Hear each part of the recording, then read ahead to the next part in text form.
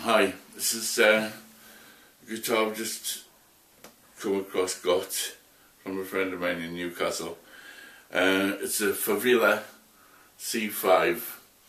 It's, uh, more classical size, but it's got a narrow fingerboard. Um, and it's really nice I love it. And uh, this is a tune just to show off what the, the thing can do and out the tones on it. It's a tune by Turlough O'Carolan called Morgan Magan.